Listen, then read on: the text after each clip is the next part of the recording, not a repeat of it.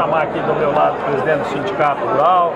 É, essa é uma parceria, uma festa diferente, é uma festa que vai realmente marcar é, um novo começo dessa gestão nossa, né, em parceria com o Sindicato Rural.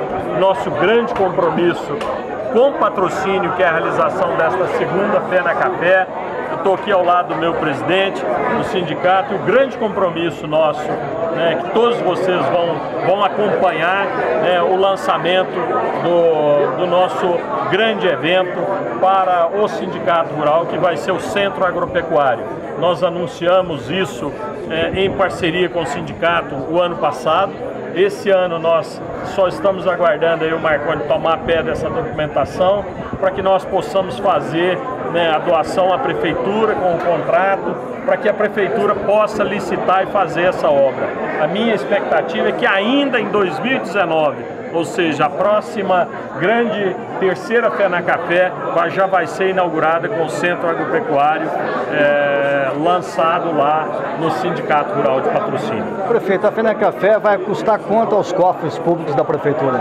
Nós vamos fazer a contratação direta dos shows, é, em 2018 nos custou 380 mil com os shows, mais é, as despesas com segurança em torno de 420 mil.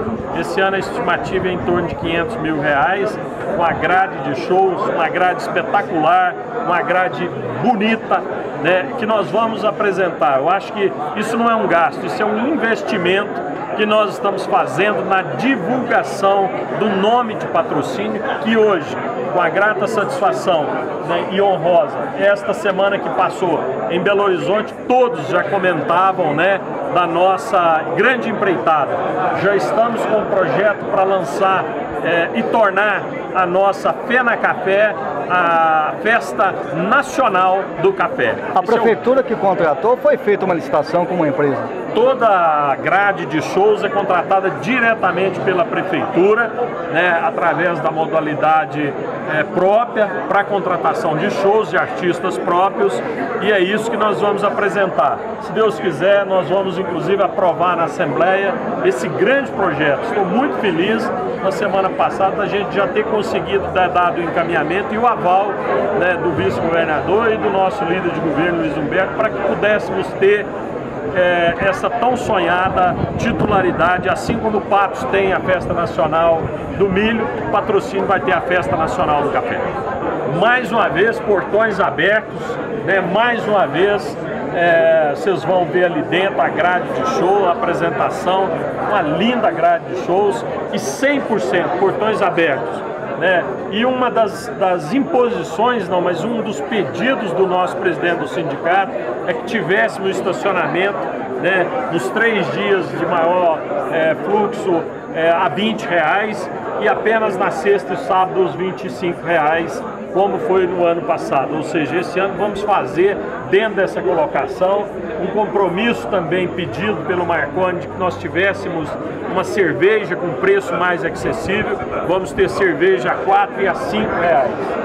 Se a prefeitura, se a portões aberto, então não tem prejuízo, né, prefeito? Ao contrário, na verdade, a exemplo do ano passado, todo o investimento que nós fazemos é, na realização dessa festa é um evento voltado exatamente para a comemoração e a divulgação do café. Né? Haja visto aquilo que eu acabei de dizer, patrocínio cada dia mais se firma no cenário nacional como a capital nacional do café. É isso que nós queremos, nós estamos fazendo um investimento isso aqui não é despesa, isso aqui é um investimento numa festa para coroar de êxito né, o, o, grande nome e o grande momento da cafeicultura nacional. Fecha da minha parte, final da festa, o senhor vai fazer um balancete que foi gasto com relação à Fene Café desse ano? Com certeza, exemplo dos anos anteriores, estará demonstrado e estará estratificado. O mais importante é a parceria com o sindicato.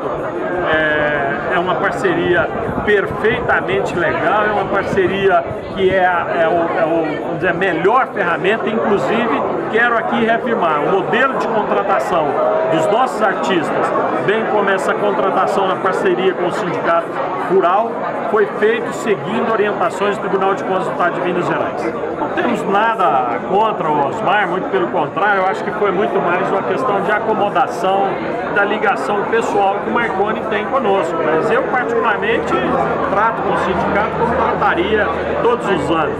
A diferença é, claro, o Marconi fez uma proposta é, diferenciada no sentido de que o convênio fosse firmado diretamente com o sindicato, que não foi possível ano passado, até porque o sindicato, vocês sabem, tinha né, a, festa deles.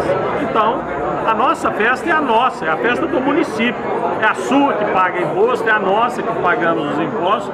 É uma festa para divulgar o nome do café. Né? Então, eu acho que é importante. Não temos nada contra a diretoria do sindicato, ao foi, contrário. Foi ventilado que só alguns vereadores né, da base que foi convidado, prefeito. Você confirma? Muito pelo contrário. Da minha parte, todos são convidados. Acho que um cara que tem é, a vocação para a, a, democracia, como o nosso governo tem, como eu tenho, todos vocês sabem que se isso acontecer é muito mais a terceiro, quarto escalão. Da minha parte não é, até pelo contrário. Os vereadores, assim como o presidente que os representa, é um poder independente e merece e tem o meu respeito máximo. Né? E são patrocinenses, a festa é deles também. Ué. A festa não é do prefeito, a festa é de patrocínio dos patrocinenses. Então todos os vereadores são convidados nossos e todos são convidados para estar lá e prestigiar a nossa festa.